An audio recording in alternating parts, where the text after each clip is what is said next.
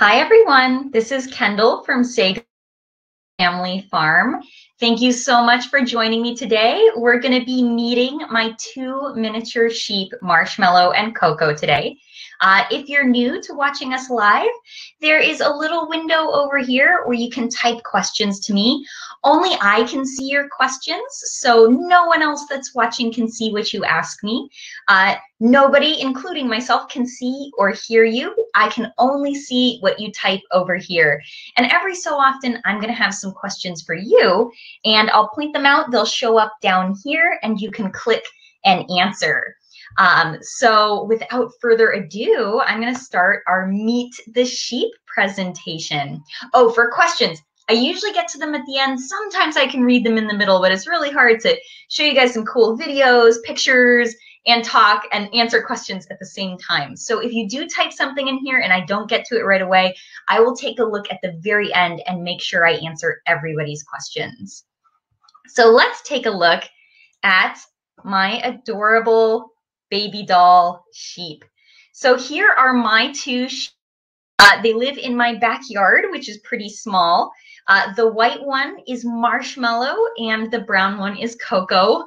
Uh, maybe that's a little obvious, but uh, these two sheep are miniature baby doll sheep. So that is a specific breed um, of sheep. They might also sometimes be referred to as um, baby doll Southdown sheep. So it's a breed that originates from England.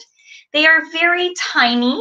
Um, so this is their full grown size. Both of these sheep are almost a year and a half old, a little bit less than a year and a half old. So that means they are full grown adult sheep and they are probably about the size and weight of a golden retriever. Um, so they're pretty tiny. And today I wanted to go over a few of the things that I do to take care of my sheep. So everything I do to take care of them. And then I also wanted to cover all of the good stuff that we get from sheep. So here's my first question to you, and it's free form. So you or your parents can type over here if you know the answer to this question is what is something we can get from sheep? So let's try to think of some things that we get from sheep. So the sheep are pretty fuzzy. Um, so I definitely have some clothes that my sheep helped make. Um, so if you know maybe how that happened, type some answers over here. Um, let's see, there's some other stuff I get from sheep. My sheep actually help me in my garden. So if you can think of any ways a sheep would help me in my garden, um, you can type them over here.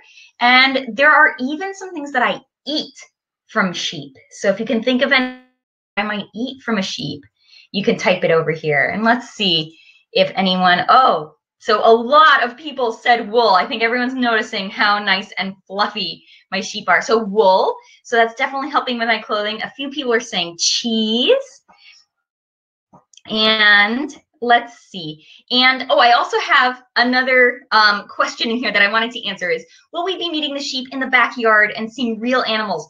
Yes. So I have some videos because my web service is not very um, fast in my backyard. So just to make sure I don't get choppy, I'm going to be showing you lots of videos of the sheep. So we're going to see lots of live action videos of the sheep.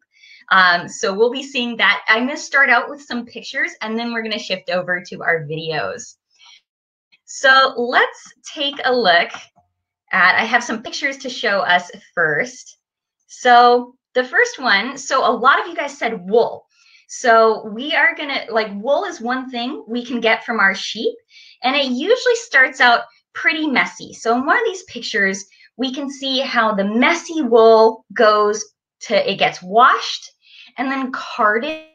This is done with brushes. We actually brush the wool so all the fibers go in the same direction and then it can be spun into yarn. And that yarn can be used to make sweaters, socks, dryer balls. So you can actually felt them by poking them a whole bunch and turn them into a dryer ball. You can even make toys uh, for yourself or your animals. I think the little tiger ball down there is actually a dog toy made from wool. Um, so there's a lot of stuff that we can make from wool. And then I saw some people said there's milk and cheese that we can get from our sheep. And I have a quick video to show you of someone milking a sheep. Um, so we're going to come in and look at this sheep's udder. So here we go. Is this is someone, this is the udder, so just like a cow, and this woman is milking this sheep. So it's kind of a rolling motion to milk the sheep, and the milk is coming into that cup. So from sheep's milk, we can make a lot of different things. Um, and milking a sheep is a lot like milking a cow, except for a cow has that hang down where you would milk it from, and a sheep usually only has two. Um, so that's very similar to milking a cow. So let's take a look at all of the uh, things that we can get from sheep milk, because that sheep milk, you could drink it as it is, um, which many people don't drink sheep milk. It has a stronger taste, but it makes excellent cheese and excellent yogurt. And I actually have another question for you guys, and it's going to pop up down here. So if you take a look, um, that actually wasn't one of my sheep. And my question to you guys is why can't we milk Coco and Marshmallow? Why can't we milk my sheep? Um, so some of the answers might be they are the wrong kind of sheep and cannot make milk. The second answer would be they need to have babies to make milk. And the last one is they aren't old enough to make milk. So let's try to think of why an animal would make milk. Um, so you might have heard earlier when I was showing the pictures of the sheep, even though they're so tiny, they're full grown. So these are adult sheep and they are both girls. Um, but it's not because they're too young. They are full grown adult sheep. So I could milk them one day, but I can't milk them right now. Let's see. One of the other answers is they're the wrong kind of sheep and just don't make milk actually all sheep are capable of making milk. Not all of them are very good at it. So some breeds of sheep, they're not so great at making milk, especially extra milk for us to get. But some breeds of sheep, so different types of sheep, are great at producing lots of extra milk so that we can have sheep milk, cheese, and sheep yogurt. So it's not that they're the wrong kind of sheep. So if we were thinking about why an animal might make milk, it's for its babies. So a cow actually only makes milk when it has a baby. And after about a few years, if you're milking that cow regularly, you feed the baby a little bit of the milk and then you can take some of the extra milk. But usually that cow starts running low on milk after a few years and she needs to have another baby. It's the same for sheep. Sheep produce the milk not just for us, it's actually for their babies. So we're actually the milk with the baby lamb. Uh, so that's why I can't milk Marshmallow or Coco is because they need to have a baby in order to start making milk. And my two sheep do not have babies. Uh, maybe one day, but right now they don't have any babies, so I cannot milk them. So this is something I can't get from my sheep. But I could get wool from them. So let's take a look at one of the other things we can get from them. So I'm not going to do this with my sheep, but sheep are raised for meat, so we can get meat from sheep, just like bacon comes from pigs and cheeseburgers come from cows. So we could get meat from our sheep. Usually they're made from younger sheep, so uh, sheep that is less than one year old. Um, so meat is one thing we can get from our sheep. And then another thing, this is kind of a weirder thing that maybe a lot of people don't know about. This is lanolin. So we can also get lanolin from our sheep. And lanolin is this kind of greasy sort of material, and it's excreted from glands on the sheep and it coats the wool. So if you touch the wool, unwashed wool that's right on the sheep actually feels a little greasy. And this helps the sheep if it starts raining, it helps the sheep be a little waterproof so that the sheep doesn't get all soggy and wet. So it helps it repel water. So we can actually harvest lanolin. So when we shear the sheep and we wash the wool, the lanolin can come off. So there are special ways for harvesting lanolin, and we can mix this into uh, skin creams to help moisturize our skin, into hair conditioner, and even into certain lip balms. So humans can actually use lanolin that we harvest from our sheep. So next thing is, so these are all the things that I'm getting from my sheep, but there's a few more things that are helping me out in the garden. So in the garden, my sheep actually help me in similar ways to how my chickens help me if you watched my chicken lesson. So I'm going to show you a video of one way my sheep help me. So this is Coco and she is eating a whole bunch of yard trimmings. So I was in my garden and I was cutting things and she even has some yard trimmings on her because I was throwing them into the pen and it just got stuck on her. I think Marshmallow ate the trimmings off of Coco. Um, so my sheep can actually eat a lot of weeds and cuttings from my garden so that I don't have to throw them away. Um, so my sheep are eating my weeds. They could even mow my lawn for me. So I would usually have to pen them in so they don't run off, but they'll eat grass. They eat all sorts of things. Sheep have really strong stomachs, so they can eat a lot of plants that a lot of other animals would find poisonous. Um, so sheep have a really nice, strong stomach. And there's another way that they help me in my garden. So after eating all of these weeds and leaves and clippings, they poop. So my chick, uh, my sheep poop. Here is what the ground in my sheep's living area looks like. So it's got all of these tiny little pellets, and that is actually sheep poop, which for us, we might say, oh, sheep poop. But my plants say, mmm, yum, this is delicious. So sheep poop makes wonderful fertilizer. So when I go to put this in my garden, so here's another video of, I usually take a shovel and shovel out the area where my sheep live and they're pooping a lot. And in every spring, I'll take some and I'll mix it into my veggie bed. So you can see I have some beautiful flowers blooming and this is gonna be great fertilizer for my plants. So I can plant some new plants in here and this is gonna be great food for them. So these are all the ways that my sheep help me. I got wool, we have some milk, which helps us make cheese, yogurt, other products. We've got meat that we can get from sheep. We have, uh, and they can even help us in our garden with fertilizer and eating extra lawn clippings. So I am getting tons of great stuff from my sheep. So I have to do a bunch of things to take care of them. So I want to take very good care of my sheep. So uh, let's think of some ways that I can help my sheep, how you might take care of another pet. So the first thing that most people usually think of is I have to feed my pets. So how do I feed my sheep? So I've got another video of me feeding the sheep because food is my sheep's absolute favorite thing. They love food. So here is a video of how excited they get when they see coming with food. So I'm actually standing next to their pen holding a bowl of food and they usually start running back and forth. And Coco here did a little like kick for joy. So she loves to jump and kick when she sees food. So the sheep are obviously really excited for food. So let me show you the food that they eat.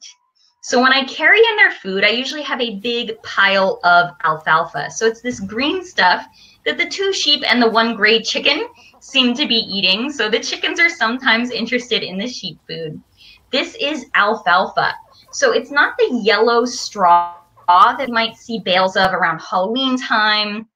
It's very green and leafy and has different nutrients in it. So that yellow straw or hay, that's usually used for bedding. So the sheep, they chew on it a little bit, but they don't really eat it alfalfa, so that nice healthy green stuff, is what my sheep eat. And each sheep eats about one pound of alfalfa a day. Um, so usually I put in two pounds, actually they eat two pounds a day because I put in two pounds of alfalfa in the morning and two pounds of alfalfa in the evening and they kind of split it. So they get morning meals and evening meals. So I feed them twice a day at regular times, just like you would with a dog. In addition to the alfalfa, they kind of sit, even though I only feed them twice, all day long. The sheep kind of sit and tend to look like this. So take a look at the white sheep, Marshmallow, and she's just constantly, she's sitting and she's chewing. And this is because sheep they eat a lot of things that a lot of other animals can't process very well. Like alfalfa is really hard to digest. So they actually throw up a little bit of alfalfa from their stomach, chew it, and swallow it again. So now I have another question for you. Uh, so you can answer it down here. How many stomachs does a sheep have? Do they have one stomach? Do they have two stomachs? Or do they have four stomachs? So that's kind of a crazy question. So one stomach, if we can think of things with one stomach, I am an animal that has one stomach. So my food goes in, my stomach helps digest it, and then it passes through me. So an animal with two stomachs, if I'm trying to think of something with two stomachs, I usually think of a honeybee. A honeybee actually has two stomachs that serve different purposes. So she'll suck up nectar, and her first stomach actually just holds the nectar so she can bring it home and go back and turn it into honey. Her second stomach is just like ours and digests her food. A sheep, and it looks like about half of us guessed that a sheep has four stomachs. And that is correct. Sheep have four stomachs. So that is quite a lot of stomachs. And I think I've got a picture of that right here. So the sheep have four stomachs. And let's see, I think I have to move where I am, but then I can color on this a little bit. So the sheep's stomachs are over here. So the first stomach that the alfalfa comes into is the rumen. So the rumen is filled with all of these little uh, micro uh, microbes that help break down the alfalfa. So they really need to start working on that. From there, kind of goes into the reticulum here, and then the uh, sheep throws it back up into their mouth and chews it, and then swallows it again, and then throws it up and chews it and swallows it again. Once the alfalfa is digested, it goes into the second two stomachs. So this is the third stomach, and then this one is the fourth stomach. So it kind of does this loop all through the four stomachs. So you might notice that this is a picture of a goat. So goats also have four stomachs, and so do cows, deer, things like that. So because they're all eating grasses that are really hard to digest. So a sheep has four stomachs. So great job on guessing.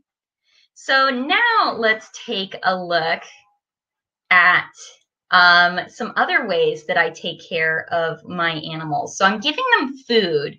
So the other thing that I'm giving my sheep is this mineral block. Unfortunately, I don't put this mineral block in with them because they think it's a treat and would just scarf it down in one sitting and it's supposed to last a long time. So I crumble off little pieces of this mineral block and I feed it to the sheep like a treat. So they love to gobble this up. They come running for this. So Coco's usually shy, but she'll run over second. So the sheep lick this up and they think it's a treat, but this is actually like vitamins. So the sheep are eating this and it's really, really good for their bodies. So they need to eat some extra vitamins that they may not get in the alfalfa that I'm giving them. So they need to have a nice balanced diet, and it includes eating this mineral block that I give for them, which is like a vitamin. So then, after I've given them the mineral block, there are some things that sheep can't eat. Even though they have really strong stomachs, I need to make sure they don't eat anything that's bad for them. So, of where my sheep live, there is this weird situation here. So it's actually a barricade that I've made out of a ladder and other things because the sheep keep breaking through it. And what's on the other side of this barricade is actually my chicken food. Because chickens eat lots of grains and like corn, other things like that, that are actually really bad for sheep. If my sheep eat it, they might get really sick or they could even die. So I have this little hole over here where my chickens can go in to eat. You can see there's all this wool on the edge because Coco keeps trying to go in there because sheep can eat grain, but only in small amounts. We usually only feed it to them maybe in the winter time to help get them some extra fat. Um, so that they can stay nice and warm. Or when they're about to give birth to babies, we start giving them grain. So a little, just a little bit of grain, not a lot because if they scarf down all of my chicken food, it would be really bad for them. But my uh, my sheep do not have an off switch. They don't know when to stop eating. So that's why I have to keep them out of it. Just like with a dog, you can't put a whole bag of food down because your dog would probably eat it all in one sitting and get very sick. So that's why I feed my sheep twice a day with measured meals of alfalfa so they don't get too fat. And I make sure they can't get into things that are going to make them sick because they like to eat everything.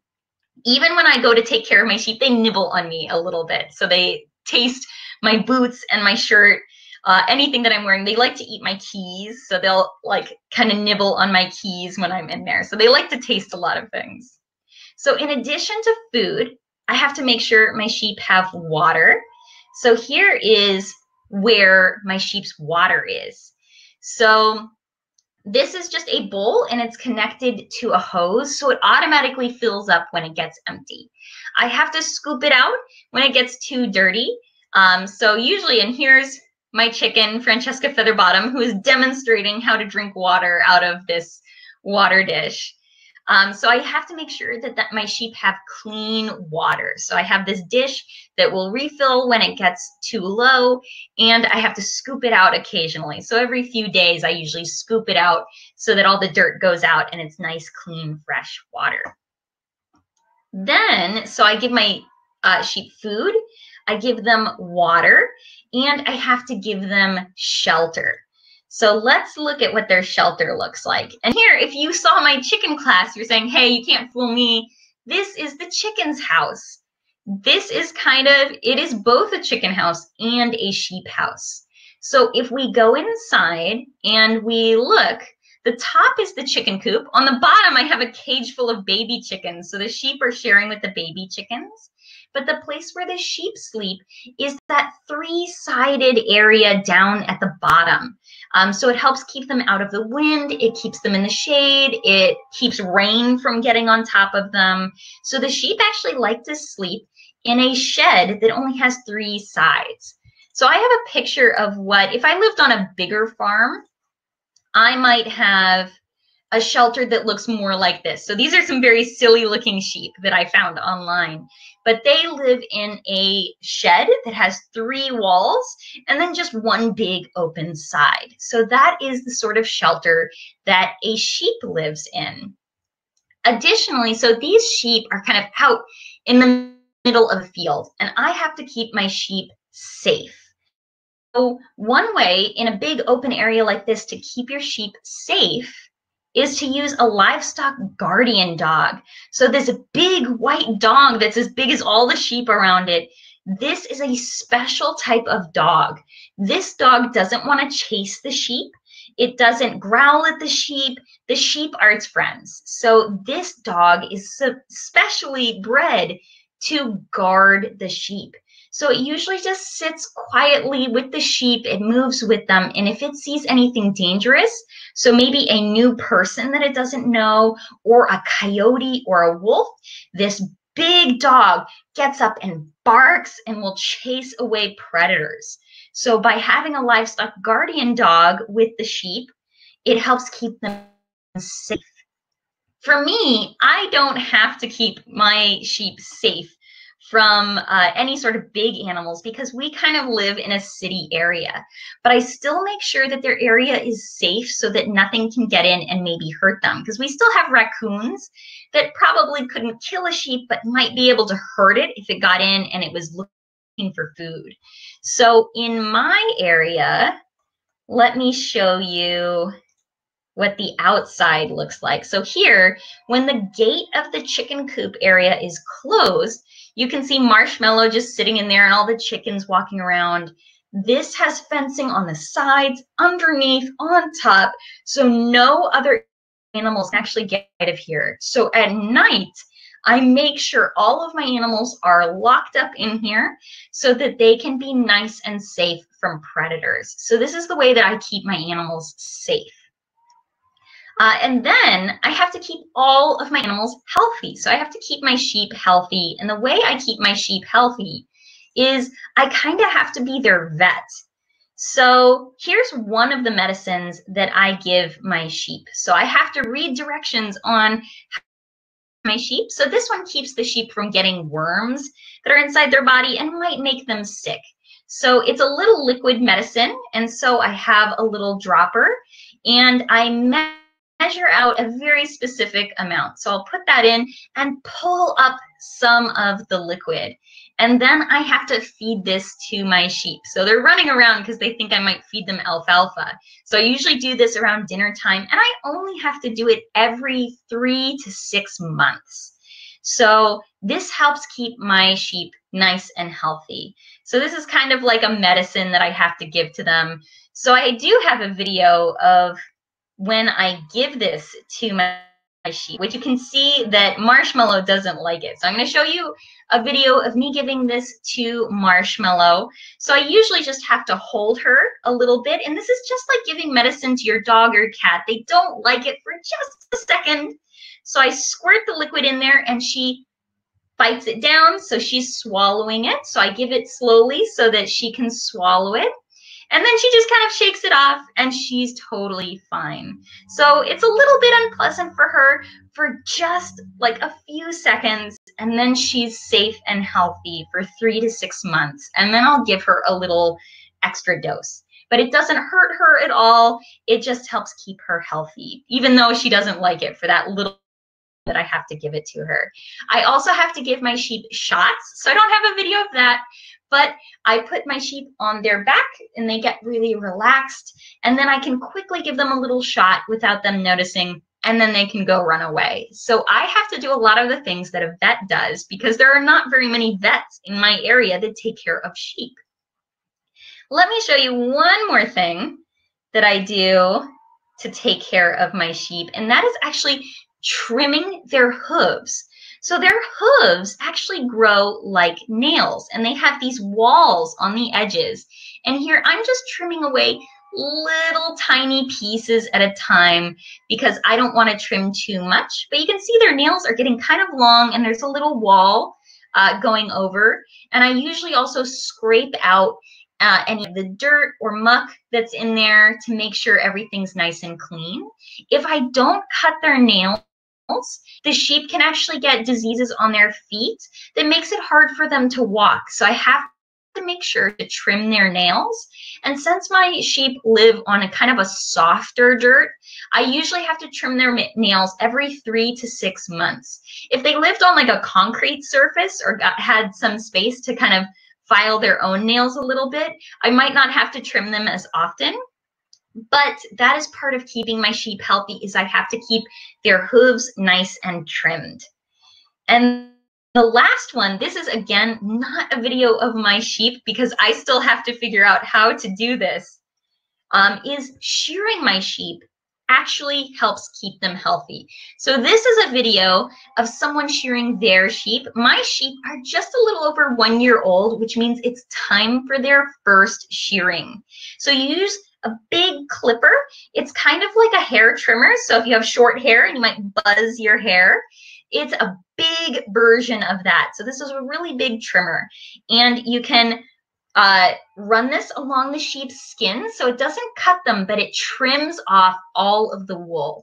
And the reason why we need to trim the sheep's wool is because if we let it grow and grow and grow, the sheep actually can't regulate its own body temperature. So the sheep might get way too hot in the summer, and that's not healthy for it.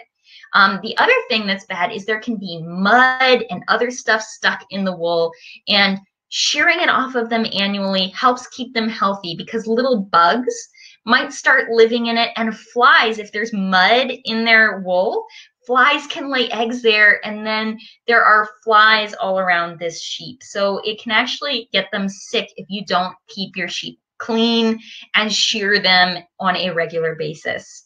Um, so it's just about time to shear my sheep. So i don't have a video of me shearing my sheep yet. We're actually probably going to do that this weekend. Um, you can see that this sheep she got a little uncomfortable for a bit but usually when you lay the sheep on its back um, so even just kind of in reclining, so sort of like it's sitting in a chair or a hammock, the sheep becomes very calm. Uh, so this is a very quick process, usually only takes less than five minutes to shear a sheep, and then they're nice and clean and they don't need to be shorn for another year. And then plus, we get all of the wool from that. So that is some of the ways that I take care of my sheep. So over here, I'm going to go back to the questions area over here and read through some of these. So if you had any questions in there, I'll try to answer some of your questions. Or if you wanted to see a video of something again, if you wanted to see the sheep again, let me know what you want to see again and we can take a look at it as I'm answering some questions. So let me go back and uh, let's see. I'm going to read through some of these questions. Uh, sorry, just reading through. Does it hurt on their feet when I trim their nails? So it actually doesn't hurt their feet. The reason why I was only taking off a little bit at a time is because sometimes it's hard to see where the nail stops and where their nice soft pad begins. So it's just like trimming my own nails is if I trim them and it's just that nail part, the very tip white part of my nail, that doesn't hurt at all when I trim my nails. But if I accidentally trim a little too much and it gets down to the pink area, that hurts and I might bleed a little bit. So if I don't, if I'm not careful trimming my sheep's hooves, then I can hurt them and they might bleed a little bit. But that's why I'm very careful and I trim little pieces until I can start to see um, the hoof getting a little thinner and then I stop. Um, so it's just like trimming your nails. So it doesn't hurt as long as you do it right. Let's see. Um, can we see pictures of your sheep again? And yes, you may. Let me put up the picture of their little faces. Let me, oh, it's a ways back, but let me put up that picture so you can see them. Just clicking through and there's some wool and here's the sheep. Um, so Coco again is the brown one and Marshmallow is the white one. So let's see. If I shave Marshmallow and Coco's fur, can I still tell them apart? Yes, I definitely can. So if I shave the wool off of these two sheep, they still have, uh, Coco actually has a pretty dark skin and she has this little layer of black fuzz. So when I shear the sheep, I actually leave just the tiniest little bit of fuzz on their skin. Um, so I can still see that Coco is, even though she looks brown, it's because the sun has kind of bleached that outer part of the wool. If I shear her, she will look a pure black color. Um, and Marshmallow, she's getting a little grubby in that photo, so she rolls around in the dirt. I've actually washed her at a pet wash. Um, so I took her to like basically a dog grooming place and we washed her because she gets so dirty because she's white. Um, so when we trim her, she's going to be a little off-white creamy color. So I'm definitely still going to be able to tell them apart. And you can actually see a bit of what they look like right on their noses. So they will look, Coco has that nice black nose. So she's going to look all like that. And Marshmallow has a, a nice little white fuzzy nose and her whole body is going to look like that when we shear her. Let's see. Oh, have they ever eaten something they shouldn't? All the time. These sheep, that's why I keep having that barricade around my chicken coop with like a ladder and the other things is because I built a fence and Coco, she keeps like she'll kind of crawl over it a little bit and mash it down so the fence kind of bent so that she could get in and eat some grain. Luckily, she didn't eat very much grain. Um, so if she does get into something that is not good for her, basically what the grain does is it causes them to get really bloated and gassy, and they don't have a really good way to deal with that. Um, so I usually give them mineral oil, which helps them pass it a little more quickly. So just the same way as I gave them the worm medicine is I'll give them a little bit of mineral oil and that'll help settle their stomach. The other thing that I do is I walk them around. So I actually have a halter and that is a leash for a sheep. So it goes over their face and around the back of their head. And then I have a little uh, rope that I can lead them around on walks. So I usually take the sheep on a walk to help them digest a little bit better. So if they ever eat something they don't, there are some things that I can do to make sure they're going to be okay. So luckily, uh, my sheep haven't gotten in, into anything too bad for them. The other things that they get into is sometimes I accidentally leave my little gate open and the sheep get out and scarf down my entire garden. So they really love to eat my garden, but that's not bad for them. It's just sad for me because then they eat all my vegetables. Let's see, can we watch a sheep video again? Absolutely. Let me give you guys a video of, this is my favorite video of the sheep, is the sheep jumping. Uh, so I love when they jump. Um, so especially when they get excited. So Marshmallow just does a little pickup, but here Coco does a really good jump and starts bucking up her back legs.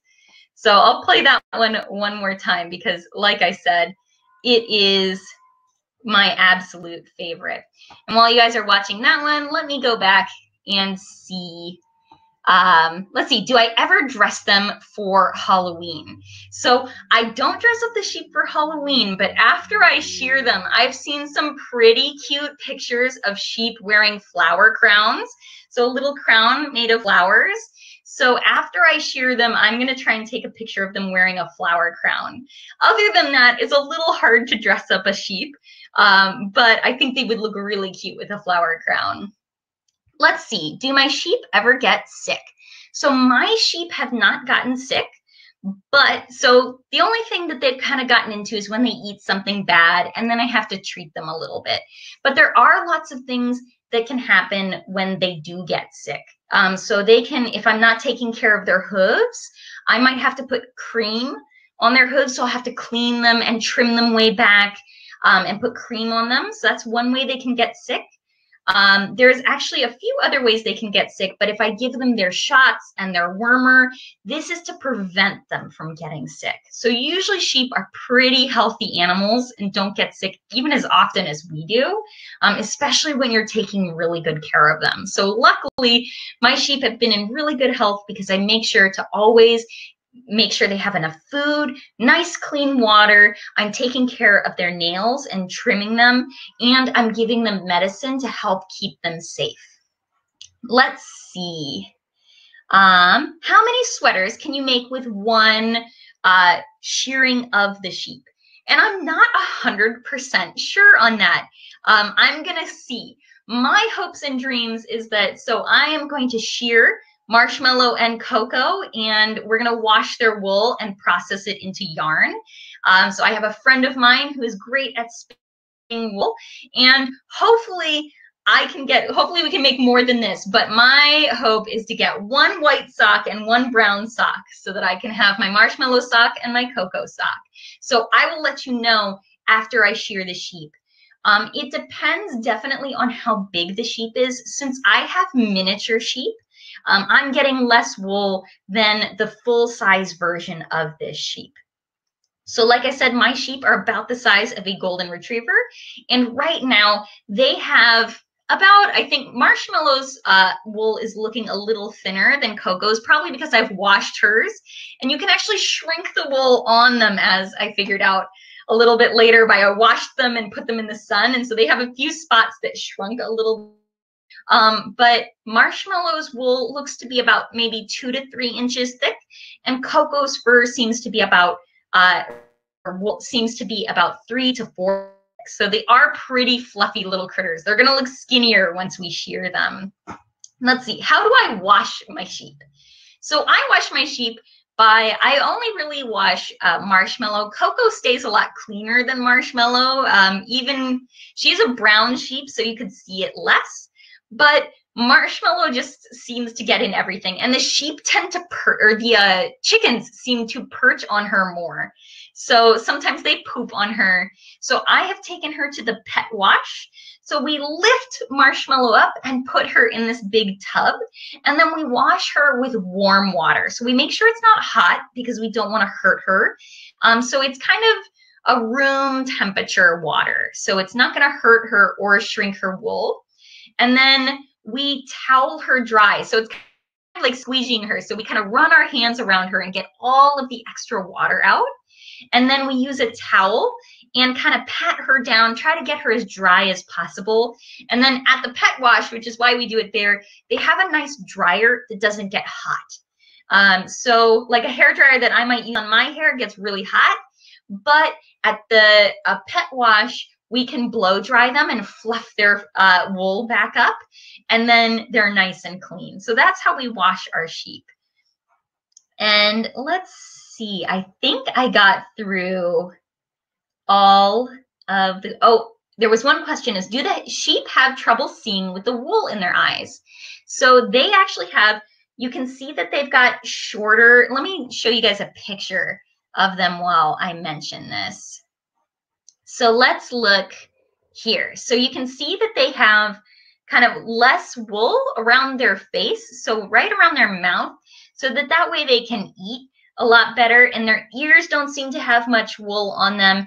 And then there is actually just a little tiny ring around their eyes. So you can see these pockets, but they are getting to about the longest length of wool that I want them to have.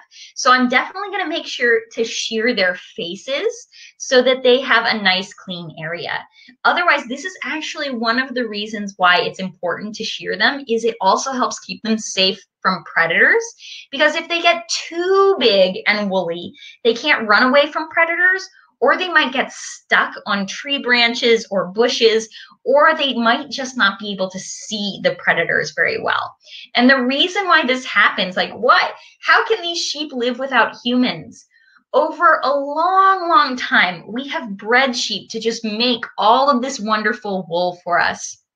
So we have actually kind of changed these animals to produce something great for us. So even though it is functional for the sheep, we've kind of changed it in such a way that they can't survive very easily without us. There are wild versions of sheep, so bighorn sheep and things like that, and they can actually live just fine in the wild, but they have a different type of wool, and actually many of those types of sheep are hair sheep. So they have hair more like our dogs do um, instead of this nice thick woolly coat.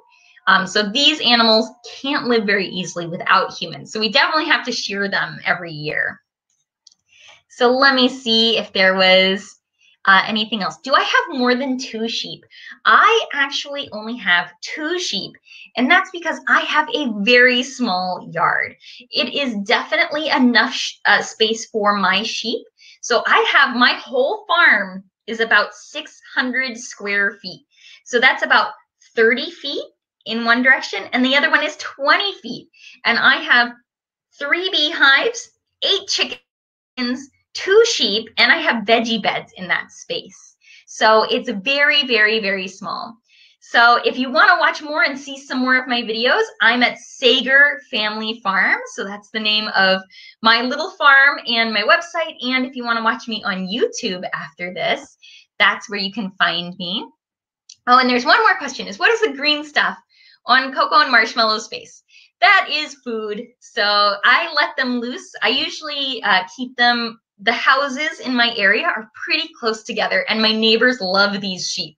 So I usually put up baby gates to keep them in the areas in between our houses, which usually have lots and lots of grass and leaves growing. So the green stuff on their face are just some leaves weeds. So I let them loose in this side yard and they ate a whole bunch of grass, but then they got leaves all over themselves. And I don't usually take it off of them because usually when I put them back in their pen, they will eat it off of each other or the chickens will eat it.